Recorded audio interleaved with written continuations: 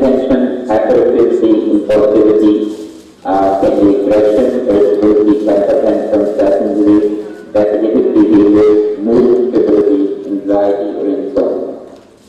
Uh, because of shortage of time, I will not go into much more detail on medication, but I will talk briefly.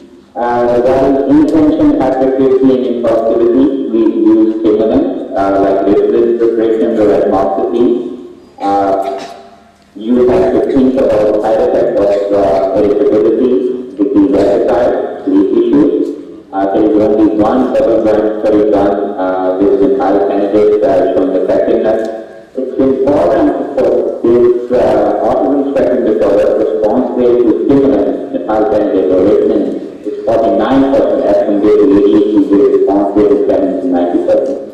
These children are much more sensitive to medication, so we have to start slow and try to slow.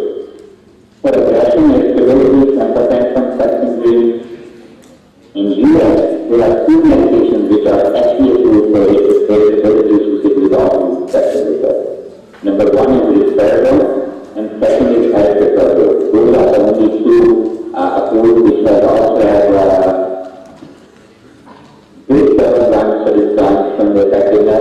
you worry about the side effects of uh, atypical antipsychotics, which include increased appetite, uh, there is loss on 5-HT2 receptors, leading to gain, sedation because of antihistaminic receptors, anticholinergic side effects like dry constipation, blurred vision. Uh, you also have to about metabolic uh, issues like increased glucose, uh, increased blood pressure. Uh, for academic behavior, sometimes Deus,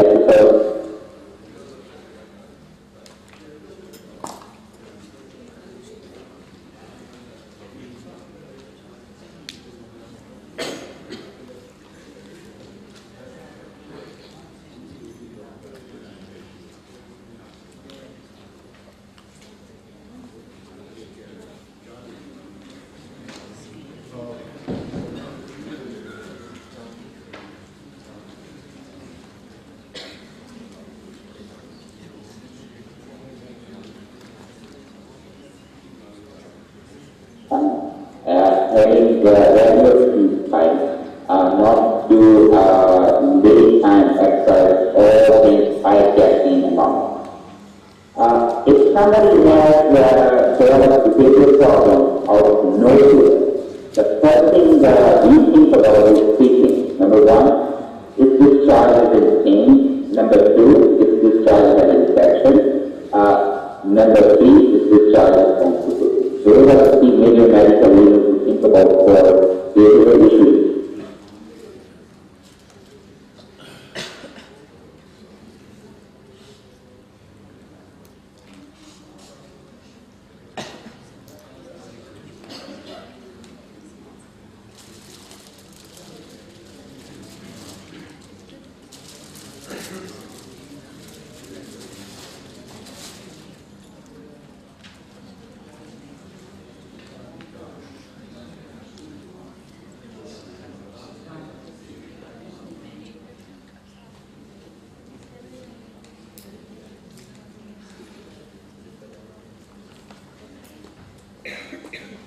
Most especially is done within this network.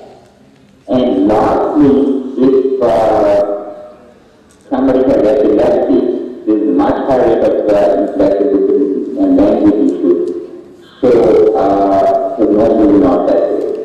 So just to summarize uh, my presentation, number one is a very common uh, issue we face, not just in US but in Pakistan.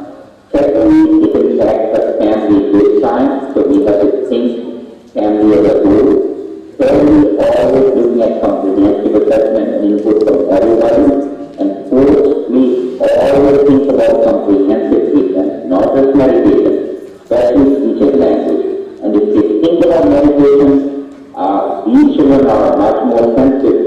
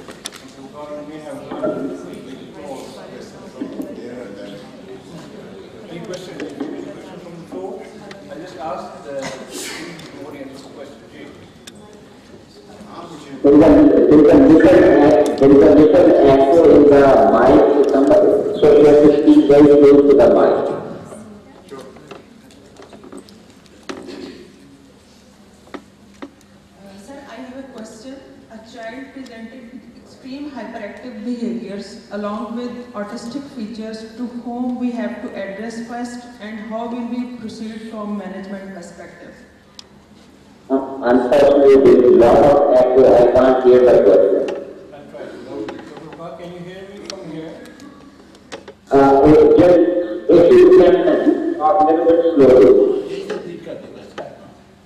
I will talk very slowly. So the question is, if a child comes to our clinic and has hyperactivity and also autistic features, what problems should we deal with first or treat first? That's the question.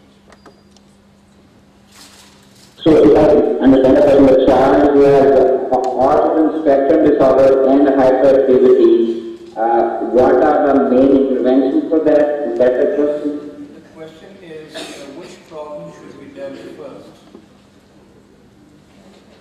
It depends on, so excellent question.